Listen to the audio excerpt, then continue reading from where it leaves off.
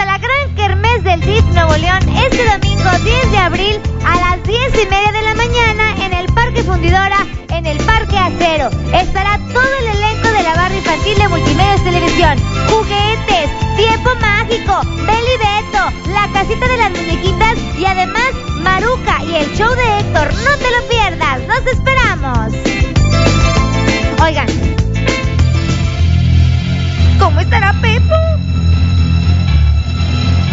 Estoy muy preocupada, se lo llevó al doctor Tamés a revisar porque aquí cerquita quedó un hospital y me dijo, no te preocupes, tú quédate con el programa, yo lo llevo a checar. Y pero estoy muy preocupada, no me llama ni me dice nada, ¿cómo está el pobre?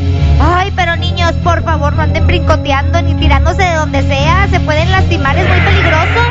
Míralos, ahí vienen. Le prestaron una camilla y todo. ¡Órale! ¿Cómo está, doctor? No tiene micro el doctor. ¡Qué bonita camilla! ¿Por qué no? Es una camilla Mejor que las del- improvisada, Pero ahorita el doctor Tamés nos va a explicar qué fue lo que le sucedió a Pepo. Gracias, perrón. Ya esta es una camilla improvisada, nos hicieron favor de prestarla y bueno, ya vimos una radiografía de, de Pepo. ¿Le tomaron radiografía? Sí, nos hicieron favor de facilitarla para que todos lo puedan ver. A ver, niños, ¿quieren ver la radiografía de Pepo?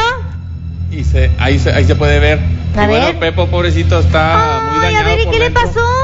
Pues saltó y cayó mal y yo creo que con su propio brazo se hizo daño en su costilla, entonces ahí se ve la fractura. Ay, sí se le quebró. Sí, la verdad es que pobrecito Pepo vamos a tener que dejarlo así inmóvil un buen un buen tiempo, al menos este 20 días. ¿En mes. serio? Sí, sí, no va a poder andar Ay. Pepo, te vas a pasar las vacaciones de Semana Santa inmóvil, papá. Pobrecito, bueno, ahí es un claro diagnóstico de alguien que, que no está fortaleciendo sus huesos, entonces tenemos que estar, los niños tienen que estar comiendo una buena fuente de calcio eh, y estar alimentándose lo correcto, ¿no? Para, A ver, para que no les pase. Hay niños que batallan las mamás mucho para que coman. A ver, algo así que tú digas, el niño le va a gustar esto y tiene calcio. Los ¿Te puede- yogurts, los, yogurts no importa Muy que sean bien. de frutas y el brócoli. El brócoli no importa que le pongan un poquito de queso, un poquito de, de aderezos, ahí, pero algo que le den fuente de calcio. Qué bárbaro, es que Pepo no ni come yogurts ni come brócoli. Bueno, pues ahí vimos las consecuencias. Pobrecito, se va a sus vacaciones así lesionado. Pues gracias, doctor. Le agradezco que No, me lo haya llevado, que me lo checaran, pobrecito. Y vamos a agradecer a las hermanas Huevo y a los niños que nos acompañan el día de hoy aquí en el show de Belibeto. Y recuerden que tenemos promociones en los salones, el boom de la diversión del show de Belibeto para todos ustedes. Márquenos en la sucursal que le quede más cerquita y aprovechen los precios del 2009. Y al contratar el salón, le regalamos el show del cabecita de melón para que se diviertan y se la pasen padrísimo. Muchísimas gracias a todos por estar aquí con nosotros en el programa. Gracias, hermanas Huevo, cantan bien bonito. ¿Les gustó, niños?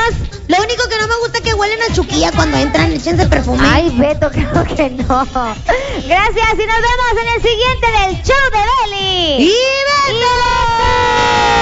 Felicidades a los niños que el día de hoy están celebrando su cumpleaños aquí con nosotros. ¡Felicidades! Y un saludo para Charlie que va a cumplir años la próxima semana. Danonino presentó el show de Belly y Beto.